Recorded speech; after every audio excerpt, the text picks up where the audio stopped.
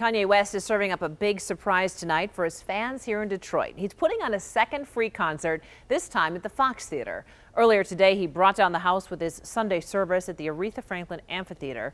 7 Action News reporter Simon Chowdhury joins us live from outside the Fox. And Simon, when do doors open?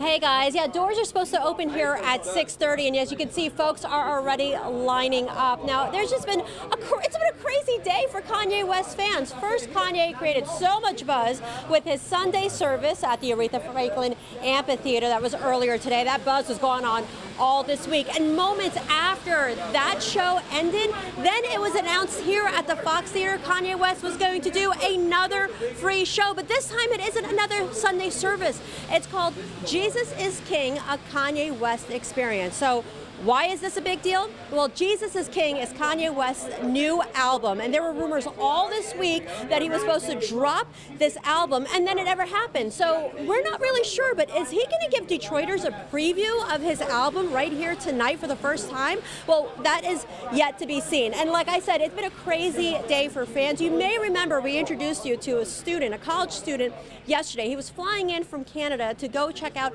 Sunday service. He didn't have a ticket. He ended up getting Well, guess what? He ended up making it to the event and he got a free ticket. He was able to get in thanks to another kind hearted fan. I was crying in the airport yesterday when I got scammed. When superfan Noah Regu didn't get a free ticket to Kanye West's show, he used PayPal to send money to buy one, but it turned out to be a scammer. Well, after tweeting about it and putting his story on Action News, this man stepped up. Wanted to go someone that would really appreciate it. Thousands showed up for the performance that was streamed live on SundayService.com. Local singers joined the choir, like Aria's mom. Watching the concert.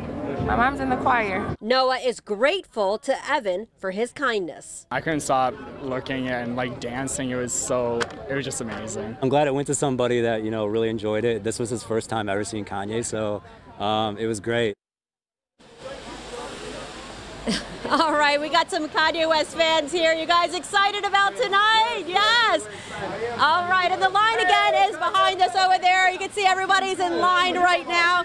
If you're wondering, Noah and Evan are in line back there. They actually got themselves a ticket, so they're going to enjoy two concerts tonight. And get this, you guys.